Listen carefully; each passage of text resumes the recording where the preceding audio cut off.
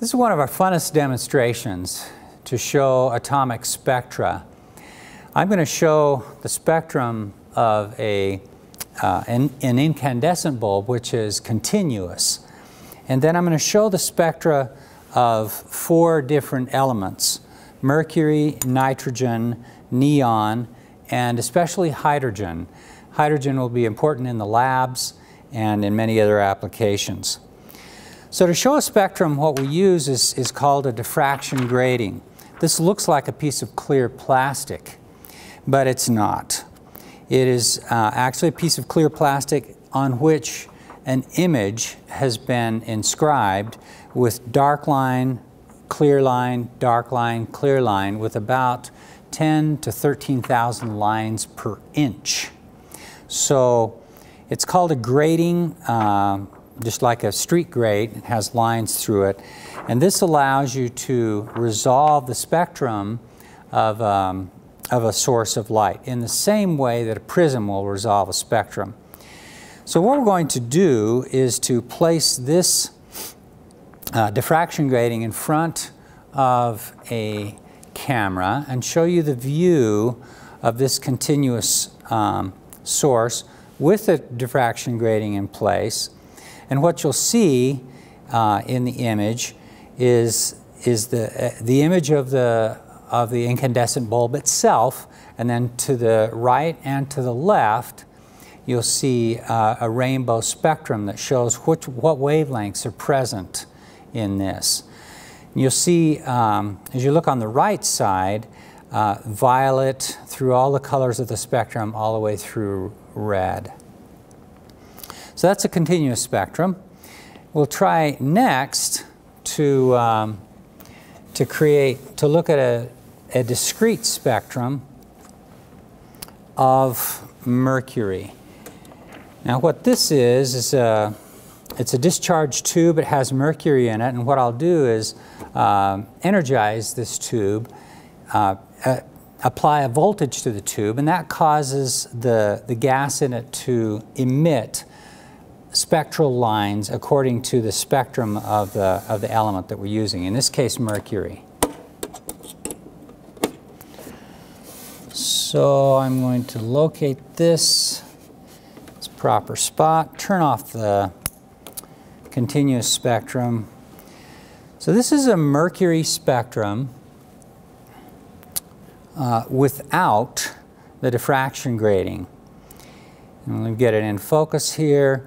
It's a bluish colored uh, spectrum. There are um, mercury vapor lights that are used as um, street lights. So this may look similar to this bluish tint to the mercury vapor.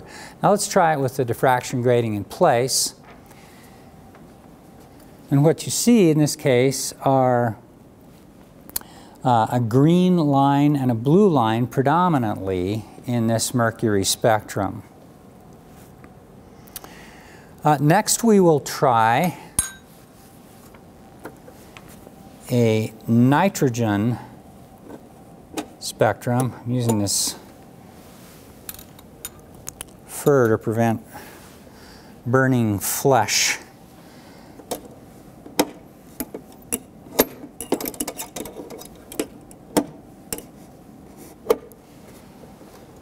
So this is nitrogen spectrum. And with the diffraction grating in place, we see a number of lines present, some red, orange, yellow, green, and a, a violet uh, turquoise-ish colored line. That's nitrogen. Two more. This is neon. There's a beautiful orange look to it, and when the diffraction grating is in place, you see a large number of red and orange lines. This is exactly um, what's used for neon lights.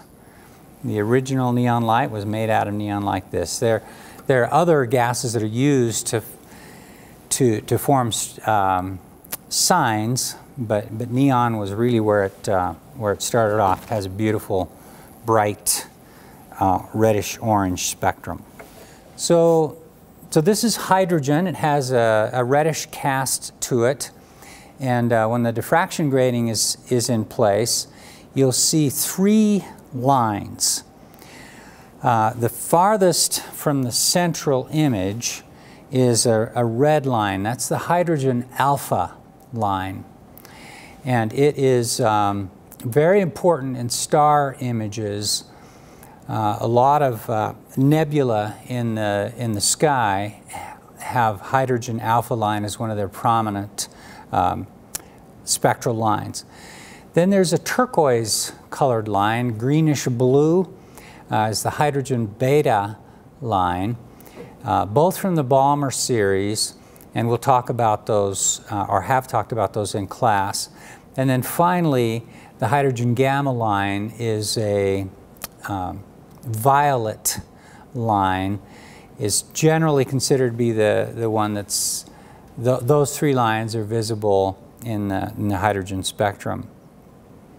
Those lines are associated with transitions of the electron uh, in the hydrogen atom from a higher state to a lower state.